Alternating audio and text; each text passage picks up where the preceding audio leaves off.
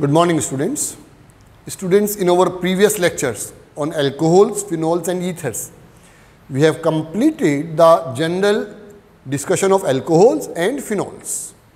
Now student in the board examination, a question is being asked to distinguish by a chemical test between 1 degree, 2 degree and the 3 degree alcohols. So today we will be discussing certain tests to distinguish between primary, secondary and the tertiary alcohols. And the first test is a Lucas test. Students, we all know that the Lucas reagent, when we talk about the Lucas reagent, is anhydrous zinc chloride plus concentrated HCl. So, Lucas reagent is a, a mixture of anhydrous zinc chloride and concentrated HCl. Mixture of anhydrous zinc chloride and concentrated HCl. Now, in this reaction, this actually was a reaction due to the cleavage of carbon-oxygen bond. So, in that case, the order of reactivity was 3 degrees more reactive as compared to 2 degree as compared to 1 degree alcohol over here. So, in this Lucas test, the order of reactivity is tertiary alcohol. Tertiary alcohol, this is more reactive as compared to secondary alcohol. Tertiary alcohol is more reactive as compared to secondary alcohol. And this secondary alcohol will be more reactive as compared to primary alcohol. Am I clear? So, tertiary is more as compared to secondary which again will be more reactive as compared to primary alcohol. So, if you carry out the reactions, if you take primary alcohol, primary alcohol is RCH2OH. Primary alcohol when made to react with concentrated HCl, primary alcohol when react and react with concentrated HCl and the reaction occurs in presence of anhydrous zinc chloride. It occurs in the presence of anhydrous zinc chloride. This reaction will be the cleavage of this bond, RCH2OH bond. It will result in the formation of, in fact, although the alkyl halide will be obtained, but here in this case, no turbidity will appear at room temperature or no cloudiness, no cloudiness. Or we may call it as a turbidity is observed at room temperature, is observed or appears at room temperature. No cloudiness or turbidity appears at room temperature. No cloudiness or turbidity appears at the room temperature. This alcohol over here is a 1 degree alcohol. Which alcohol is this? 1 degree alcohol. If you take 2 degree alcohol, 2 degree alcohols are RRCHOH. This 2 degree alcohol when made to react with HCl and this is concentrated HCl. The reaction occurs in presence of anhydrous zinc chloride. What is observed over here? The formation of secondary alkyl chloride will take place and cloudiness appears after the 5 minutes. So, it will result in the formation of secondary alkyl halide. Am I clear? Plus a molecule of water will be given out. And here the turbidity appears after 5 minutes. Am I clear? Why does it appear after 5 minutes? Over here I may say because secondary alcohols were more reactive as compared to 1 degree alcohol. So, this is turbidity or the cloudiness. Turbidity or a cloudiness appears after 5 minutes. Cloudiness appears after 5 minutes. Am I clear? This alcohol over here is a 2 degree alcohol. This is a 2 degree alcohol and this is 1 degree alcohol. Here turbidity appears at the room temperature. 2 degree alcohol, the turbidity will appear after 5 minutes. If you take 3 degree alcohol, if you take over here 3 degree alcohol, 3 degree alcohol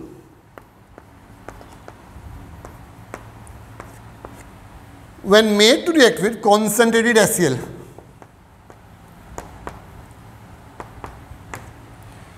in presence of anhydrous zinc chloride. In presence of anhydrous zinc chloride. The product obtained will be tertiary chloride and here the turbidity or the cloudiness appears immediately. The formation of this will take place this will be Cl plus a molecule of water will be given. So turbidity or cloudiness appears immediately. So, in this reaction, this is a turbidity or cloudiness. Appears immediately. Appears immediately am i clear so this is how 1 degree 2 degree and a 3 degree alcohol can be distinguished on the basis of a test which is called as a Lucas test. Now, this reaction was also done with you when we were discussing the reactions due to cleavage of carbon oxygen bond. There can be another distinction test which can be a dichromate test or we may call it as an oxidation test. So, this is dichromate test. Dichromate test. This can also भी called as oxidation test dichromate test और oxidation test how we distinguish one degree two degree and three degree alcohol on the basis of this student if you take primary alcohol then secondary alcohol and then a tertiary alcohol. Primary alcohol means 1 degree alcohol. Secondary alcohol, this is 2 degree alcohol and tertiary alcohol will be a 3 degree alcohol. Tertiary alcohol this is 3 degree alcohol. How will we distinguish this? Primary alcohol R CH2OH. Secondary alcohol R R CHOH. And tertiary alcohol will be this R R and R and this will be COH. Primary alcohol on oxidation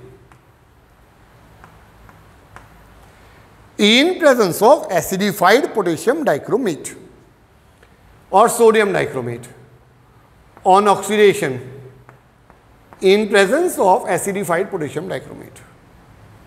Am I clear? It will result in the formation of aldehyde. The product obtained will be aldehyde. If I take secondary alcohol, secondary alcohol on oxidation in presence of sodium dichromate in acid which is H2SO4, it may result in the formation of ketones. The product obtained over here will be ketone. Now, this aldehyde so obtained, it will be a orange solution which became green. Am I clear? So, at the stage of aldehyde, which will further oxidize and result in the formation of a carboxylic acid. This will be again oxidation and this will result in the formation of carboxylic acid. So, at the stage of carboxylic acid formation, this will be the orange solution of dichromate. Orange solution becomes green. Am I clear? So, over here the orange solution will become green. But when we take the formation of ketones over here. In the case of secondary alcohol, it is at this stage that the orange solution will become green. So, over here the orange solution becomes green. Orange solution becomes green. So, at this stage the orange solution will become green. Here in this case there will be no reaction when we carry out the reaction with sodium dichromate and H2SO4. Here it will be no reaction. In this case there will be no reaction. So, these are the two tests Lucas test and the dichromate test. This is normally being done in the examination. Apart from this student, there is one more test on the basis of which we may distinguish between 1 degree, 2 degree and 3 degree alcohol. Now, the third test is Victor-Meyer test. Third test over here will be the Victor-Meyer test. How do we distinguish between 1 degree, 2 degree and 3 degree alcohol? By a Victor-Meyer test. In Victor-Meyer test, we have got a primary alcohol. Primary alcohol will be RCH2OH. Then we have a secondary alcohol. Secondary alcohol will be RRCHOH.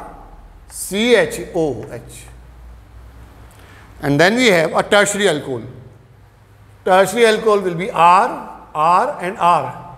And this will be COH. This is 3 degree alcohol. This is 2 degree alcohol and this is 1 degree alcohol. Am I clear? So, how do we distinguish between 1 degree, 2 degree and 3 degree alcohol? You let all the alcohols to react with a hydrogen iodide. Here again let it react with hydrogen iodide and in the third case again let it react with a hydrogen iodide or we may also take phosphorus in presence of iodine or red phosphorus in iodine. Here again we may take red phosphorus in iodine or red phosphorus in iodine. Am I getting clear student? Here it will result in the formation of primary alkyl iodide. This will form.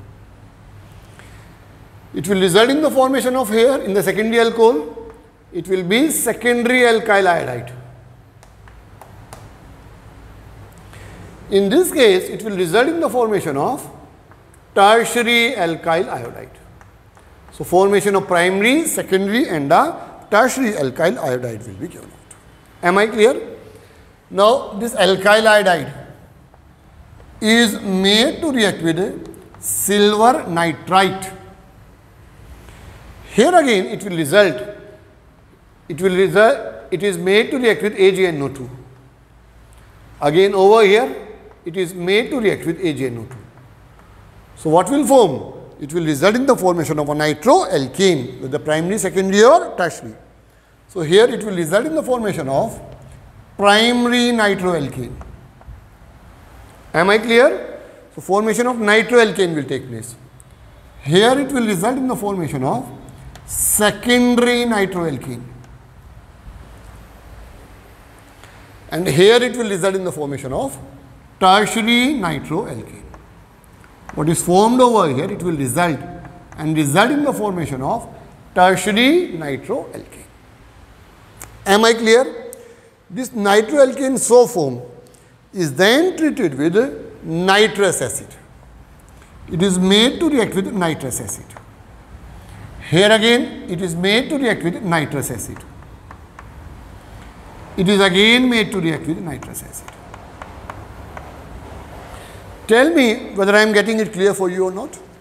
Now, when the primary nitroalkane react with a nitrous acid, what will happen?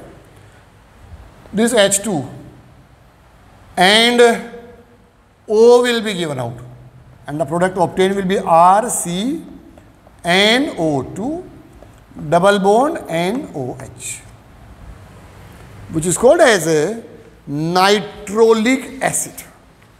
Am I clear? So over here the nitrolic acid is formed. It will result in the formation of nitrolic acid. Here the formation of pseudonitrile will take place. How? This H, this H and this O will be given out. And here the product obtained will be pseudonitrile. R R C NO2 and NO. So what is obtained over here? It will result and result in the formation of pseudonitrile.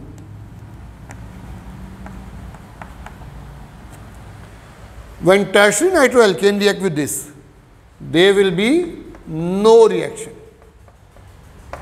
Am I clear? This nitrolic acid, when made to react with sodium hydroxide,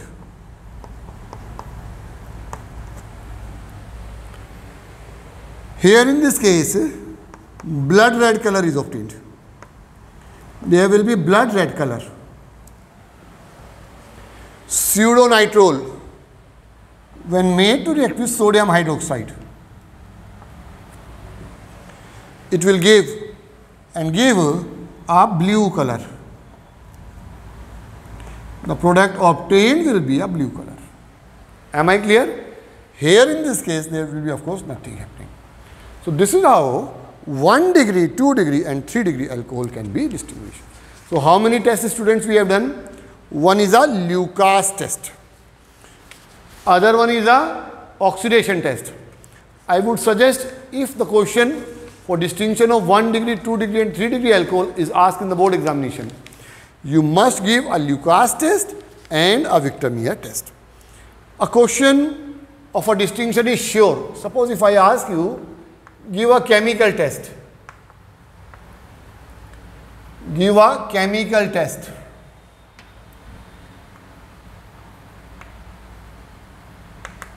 To distinguish between a chemical test to distinguish between phenol and ethyl alcohol. Can you give me the test student? Try to recollect the test of a phenol. Phenol on reaction with neutral ferric chloride gives violet color complex, whereas the alcohols does not. Phenol gives a dye test. What was the dye test? When phenol is made to react with diazonium salt in presence of alkali at the pH of 9 to 10, it will obtain as a red color dye. We also did the Liebermann's nitroso reaction. Phenol when made to react with sodium nitrite and concentrated HCl will change to green which will change to blue and on dilution will change to red in color. So, those were the distinction test of a phenol. These tests were specifically given by the phenol and not by alcohol. However, alcohol when made to react with iodine, ethyl alcohol and sodium hydroxide gives a yellow precipitate of iodoform. So, iodoform test is one of the very common tests which is asked in the ISC board examination. I hope uh, you must be able to do this.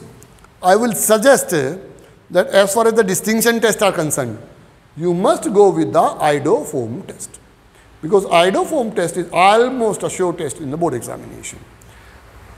The alcohols and phenols are over over here. You must know one or two terms one is power alcohol. What is power alcohol? It is 100% alcohol. When I say alcohol, this is ethyl alcohol. It can be used as a substitute of petrol. In fact, mixture of 20% gas ethanol and 80% gasoline is used as a substitute of petrol. Am I clear? Alcohols used for generating power.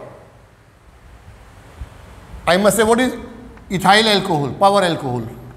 Alcohol used for generating power. Alcohol used for generating power is called as a power alcohol. Fine. Alcohol used for generating power is called as a power alcohol. This 100% ethyl alcohol, make a correction. This is called as absolute alcohol. What is absolute alcohol? 100% alcohol. What is al power alcohol? Alcohol used for generating power. It is a mixture of 20% alcohol and 80% gasoline. Am I clear? So, mixture of 20% alcohol, mixture of 20% alcohol plus 80% gasoline is a power alcohol. Then student you must have heard about denatured spirit. Denatured spirit. Spirit made unfit for drinking purpose. Spirit made unfit for drinking purpose is called as a denatured spirit or in fact if I call it as a methylated spirit methylated spirit which is also a denatured spirit it is a mixture of 9% methanol 90% alcohol is a mixture of 90% ethyl alcohol plus 9% methyl alcohol plus 1% poisonous substances.